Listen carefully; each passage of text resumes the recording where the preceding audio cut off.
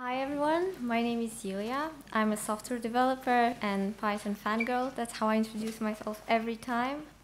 And I'm going to talk to you about what's written on that screen. Um, I'm gonna begin by giving you a short intro or of this talk. So um, back in April, uh, I attended DjangoCon as a speaker where I talked about algorithms and why I think that it's important that we continue studying them even after we finish university or after we get that, uh, we pass that interview. Um, and um, these are some main points which I made uh, that it's really good as a mental exercise because it keeps your skills sharp. And um, the more studying you put into this, the more knowledge you get out of it, that it breaks routine, that after a while we might get tired of writing pipelines or uh, websites or whatever, and uh, this is like doing that really nice puzzle on the beach um, that it helps you with the understanding of logic, that you understand how certain things are implemented and how to make them faster and better. Uh, and also, it's a social duty that I think that we have as developers because um, algorithms nowadays are the buzz buzzword out there and they have a really bad reputation uh, with the people that are not knowledgeable in this field. Uh, they think that it's biased and uh, that, I don't know, algorithms rule the world or that it's going to cost you that um, health insurance. And I think it's our duty that we know them better and we can better explain them to other people. I, I just think that this is like community service in a way. So I came out with this wobble scheme that I use in my training. It's not perfect. Um, last time in the April talk, I focused on the resources part. I talked about what kind of websites, books, and um, problems and all sorts of resources that I use in my training. And this time I want to focus on the gamification step, the one in the left corner. And um, I don't know. My plan is that if I ever give another talk on the subject, the next one will be on the keep track of your progress and the analysis. Right. So what is this gamification shenanigans anyway? So the gamification is the application of game design elements and principles in non-game contexts. Uh, its main focus is to combine work and play and to make work more interesting. Take a look at this picture. This comes from a Lifehacker uh, article, which was very interesting, about how to gamify your life, and it was also focused a bit on fitness. So it was, it was like calling your mom, two points, doing that exercise, five points. And uh, basically, it was introducing game the game type elements to habits that you're trying to introduce, like, I don't know, brushing your teeth every night or whatever. The idea is that this should make it a bit more fun to accomplish. Um, gamification is also highly used in training-like experiences, like, um, I don't know, when you're let's say you're in a volunteering company and you're trying to get each other better and you have all sorts of games and all uh, that kind of stuff to ease you into knowing each other and all that. So why does it work? Um, if you look at the neuroscience behind gamification, it all comes down to this little fella, dopamine, or the feel-good hormone. Uh, this is rewarded whenever you do something uh, that is that is rewardful in a way, such as eating or sleeping or um, playing a game. So gamification focuses on uh, giving instantaneous feedback, which might not otherwise be available, uh, because by earning rewards in that whole gamification system, um, you begin to associate learning with a positive experience and positive emotions. And this will make you want to do them more and more and more. Think about um, the kids that should go to bed at a certain hour and after uh, the parents uh, turn off the lights and everything, they just uh, go to the computer and play video games till the morning. And think about the reasons why those children might do might risk it all because if they get caught they will be punished um, to play some video games. Um, dopamine is uh, the primary neurotransmitter involved in the brain's reward system and it's also responsible for motivation controlled movement like I couldn't believe this, like just walking straight across the room, dopamine is involved in this.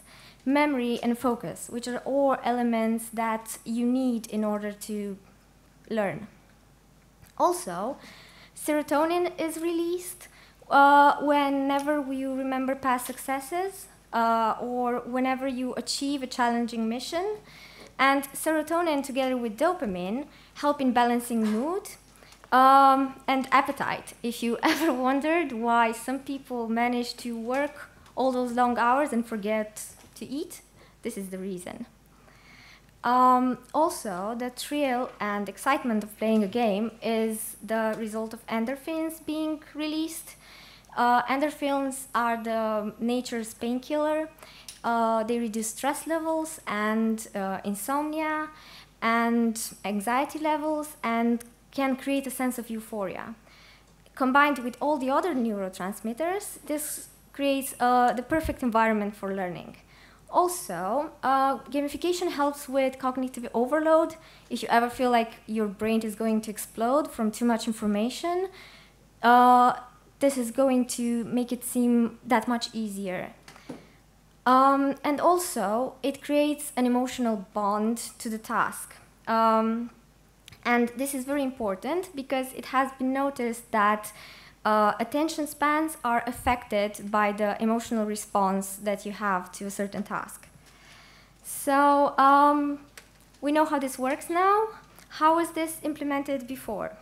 As I said, uh, gamification is a buzzword.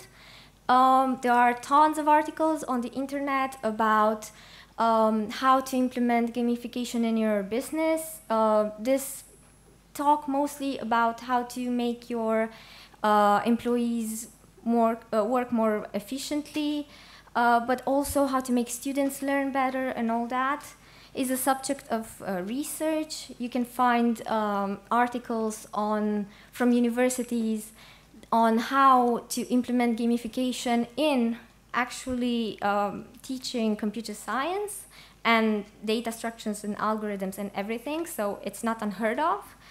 Um, and also, games are fun, let's be honest.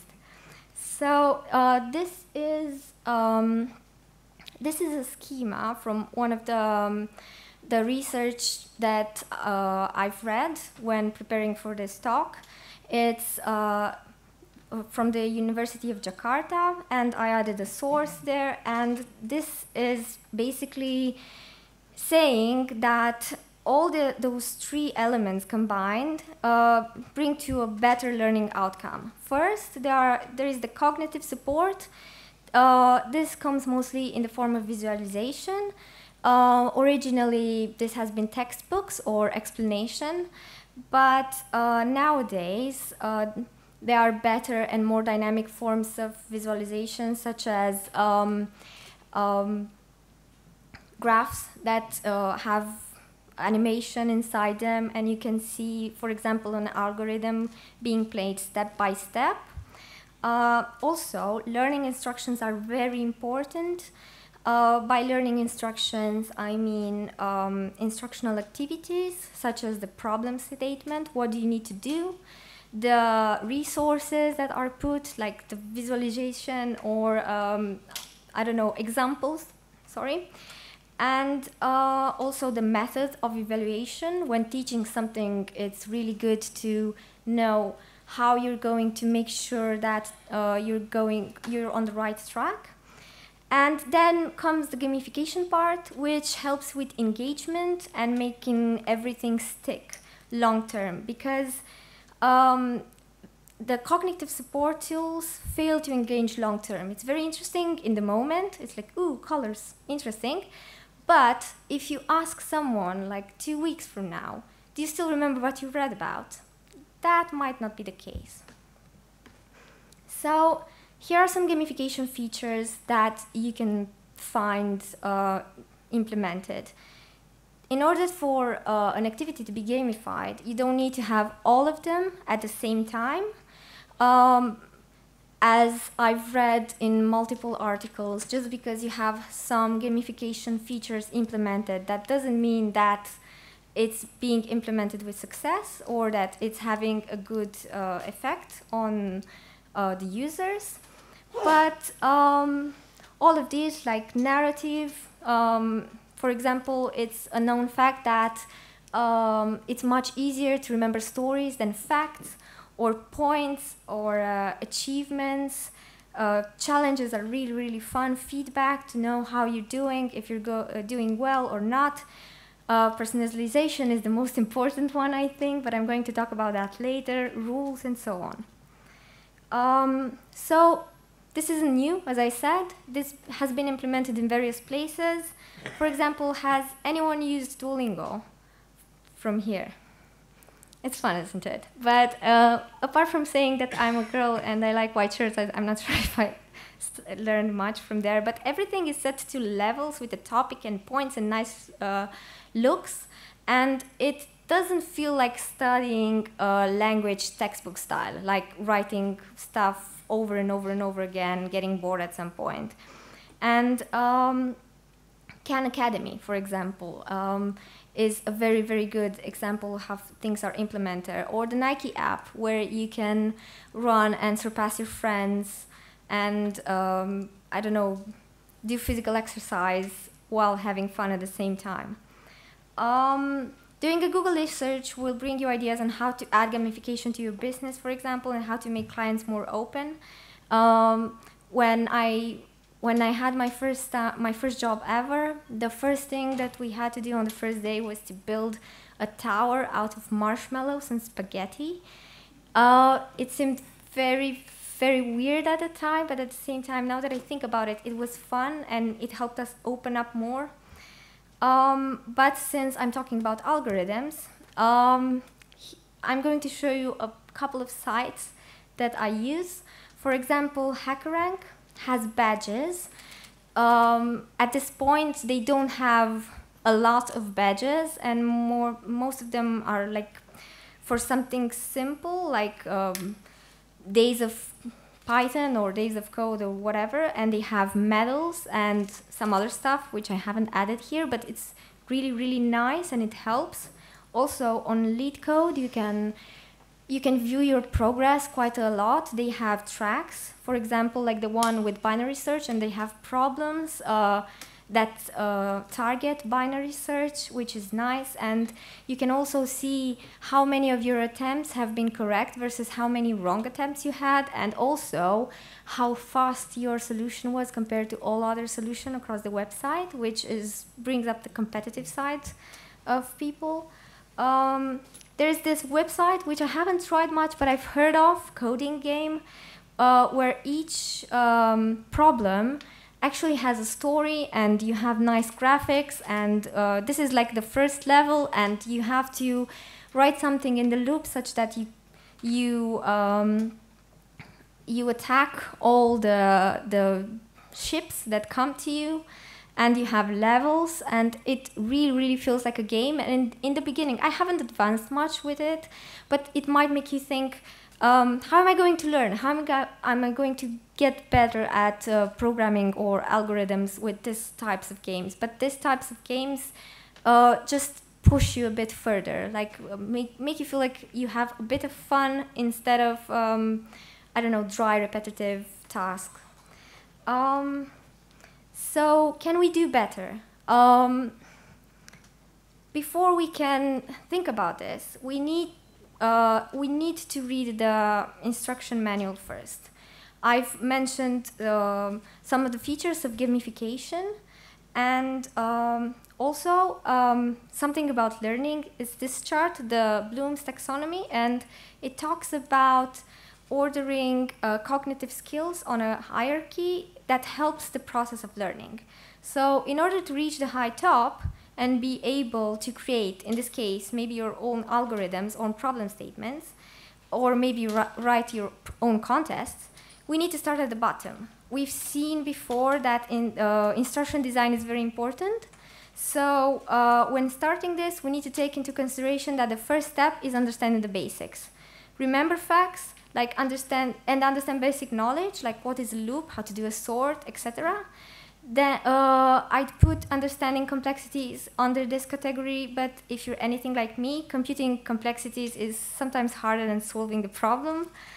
Uh, then you need to apply your knowledge. You need to be able to apply this knowledge in new situations, new problems. You need to be able to read a problem statement and know that you're going to have to solve it using binary search, for example. Uh, you need to be able to analyze and evaluate. Feedback is very important when applying knowledge. Are you doing it correctly? Are you on the right track? Um, and also, there was a TED talk by Gabe uh, uh, that talked about the legs of gamification. Um, constraints drive creativity, for example, if you have to solve a problem and you, you know you have to do it in a certain amount of time or um, uh, the solution needs to run a certain amount of uh, seconds or that you cannot use division, for example, then this is going to make you more creative. Um, for example, when using, when competing in competitive um, algorithm contests, um, I use Python all the time because I like Python. But we all know that C is faster, so I need to come up with creative solutions to make it pass the time constraints, otherwise I'm in trouble. Uh, you need to have the ease of failure, which is you need to fail and know that the world is not going to end. Just like in a game, if your hero dies, you can just uh, try again or go back to the last saved point. You need to have perseverance you need to know that uh, doing it once or twice or once every blue moon is not going to cut it, but you're going to need to have fun doing it because uh, we're not Sisyphus pushing up the boulder. And speed and pressure seem to help. Um, I hate competition, so I hate speed and pressure. Uh, but some and most people thrive on this. Um, also, levels need to be designed carefully. You need to have uh, just the right amount of hard or easy because if you do them too easy, then you're gonna get bored. Or if you do them too hard, you're going to give up eventually. So let's make a game out of it. Now that we have the rules, let's ask ourselves some questions and design the perfect game to study algorithms or anything else for that matter. Uh, but first, time for a challenge because this is a talk about gamification. Here you have some code and two requests. Uh, whoever is going to find me after this talk and give me the time complexity and find um, the edge case that I mentioned in the talk is going to receive this box of chocolates. So um, have fun. May the best win. So back to our topic. Ask yourself, what is your favorite game and why? Do you recognize any two of these logos? it's from World of Warcraft. this is my favorite game. So um, I, I try to think about what are some things that I like about World of Warcraft. Um, it's the story, the fact that you can go through the lore and do quests and find out all sorts of backstories and characters and blah blah. Then the achievements, I really really like uh, those things like uh, get friendly with a certain race or uh, stuff like that. The community that you're able to play with other people, uh, the challenges, and by challenges I mean the dungeons, and the fact that you can level up um, and create a character that in level one can get killed by a rat to something overpowered. So let's think about the story. If the story is important, um, when solving algorithms, do we like problem statements with a story, or do we like a story behind a collection of problems? Uh, for example, do we want uh, to solve a track about binary search? Or do we want problems that have a story in the statement, such as, um, I don't know, Jane and Mary try to decide how many chocolates each is going to get, yada, yada, yada. Then with achievements, do we need, do, do we like badges? Do we like, do we need a progress bar? Do we need to see how much we've solved, how many problems this week, or uh, how many days in a row, or stuff like that? Whatever, uh, whatever uh, helps you best, whatever you like the most, and is going to help you get more uh, productive. Then the community. Do you like to compete with friends or do you like to compete against friends? Do you want to talk to them about solutions and see whoever come, came with the best solution? Or do you just like to win against them in a contest and haha, I did the best rating? Um, do you like challenges? You, should, should you have a 30 day challenge and solve one problem each day? Or um, do you do you want, like solving very hard problems from time to time? Or do you like uh, solving old stuff in new ways? And with the level up, um, should you level up through the number of problems that you solved, or should you do it through a rating system? For example, with the number of problems solved might be an easy way of leveling up, but after a point, it says nothing about your progress because you could just be solving easy problems. But a rating system is not very good on its own either, because I'm going to give you an example. So um, last week, I took part in a Codeforces contest, and I dropped more than 100 points for the reason that I was at a jazz concert in the park, and I participated from my phone, which was not very friendly with the code. And uh, because of that, I made very, uh, a lot of bad uh, submissions and after a while, I just gave up because it would interpret one of my characters in an uh, ASCII code. And then I just dropped in rating. Like right now, my rating is the one of a beginner, but does that say anything about me? Or does it say something about that particular contest? Also, analysis is a very powerful tool. You need to know where you're at. Uh, right now, I don't have many ideas on how to evaluate the progress, um, you could keep a bullet journal and um, I don't know, keep track of how many problems you solved, how many of those were easy, hard, or medium, um, how um, if you solved more on this website or that website, if you solved more through contests or just on your own. Um, I don't know, little things that like this that matter to you but um, I'm still thinking on this one, so um, hang on tight. And now the boss level. Um, what is the point of all of this? The point is to keep up the motivation, um, to encourage fluid intelligence. Fluid intelligence um, involves being able to think and reason abstractly and solve problems. For example, um, coming up with problems, uh, problem solving strategies on, on the spot without reading beforehand in a textbook. It's very useful in our field. It's also to reduce stress levels, um, to reward yourself short term.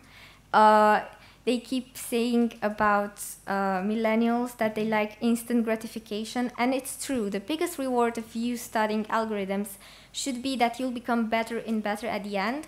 But sometimes a little push down the road is really nice and appreciated. Um, also, remember the, the research that I mentioned earlier. This is a graph that is showing the results of uh, students taking the test for the first and second time after just reading about algorithms in a book and after playing a game. In both cases, when they took the test the second time, they all took straight tens or A's, the maximum grade. but look at the difference between just reading about them or doing them in a fun way. I think that gamification uh, help uh, help solve problems um, that we until now we might have thought that it's some, somewhat our duty to do it and if it's hard we should just do it even if it's hard but that doesn't mean that it shouldn't be fun. And my last my last point is uh, don't be ashamed if you need uh, if you feel the need to gamify something that you love. This doesn't mean that you love it any less it just means that li- life can get messy and it's really easy to lose focus of what's important to you. It's one of the really bad points of growing up and being an adult. Uh, so gamifying something and making it fun doesn't mean that um, you're not good at it or that this isn't this isn't important. And um, that's it. Game over. Any questions?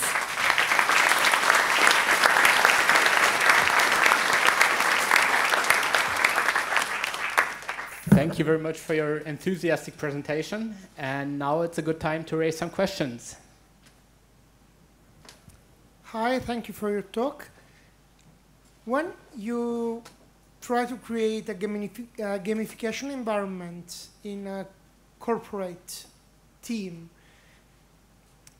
how can you address the fear to lose from people? Hmm, very good question. Um, I think that by making it a, a really um, safe environment to fail, like if you fail, that doesn't mean anything. Uh, let's joke about it. Let's try it again. Next time I'll show you. Next time I'll be better than you. Haha. Um, I think that by by just implementing a carefree attitude towards this and not treating it like a a sort of evaluation towards a raise or um, a promotion, then this way is going to make people think that it's okay to fail, it's okay to try, it's okay not to feel in the mood to participate once in a while, uh, and take all the benefits of this sort of activities. If, did I answer your question? Well, yeah, but I think it's more on the, uh, on the personal uh, yes, I know that there is, I mean, there is not an easy solution because even if it's something that is not tied to promotion, it's just the subject's feeling respect to the others is independently to yeah. from but in in my experience the community is a really big factor in this. If you have uh, friends to do it with or if um, you um, I don't know have a really strong community behind you then they're going to motivate you a bit. They're going, you're going to feel left out if they compete without you, for example, or they're going to just encourage you. Come on, let's try. Um, so I think that the community is a really, really strong factor in this. Further questions? Okay, well, uh, if anyone has the answer, I have the chocolates. So. yes. Um, here. I actually have a question. Do you maybe know some examples where this kind of gamification is applied in mainstream education, like brick and mortar universities? Unfortunately, no. Um, where I studied, for example, uh, I, I don't mean that it was like a jail or something, but we didn't have this kind of reward system. Uh, we we did have like um, frequent hackathons, which felt a bit like a contest, which were nice. Uh, but I've seen recently at um, lower levels of education, like uh, kindergarten or the first levels of school that they, they're trying to make things more and more fun in a way that we didn't have it when we were young. Okay, thanks.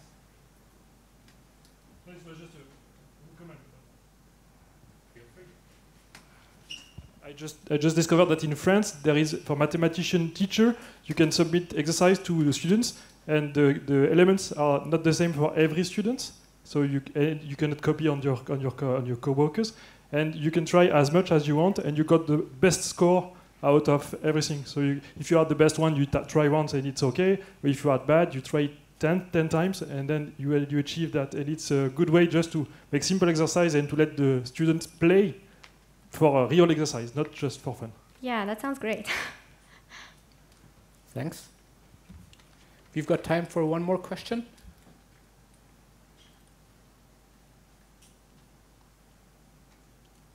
Okay, thanks.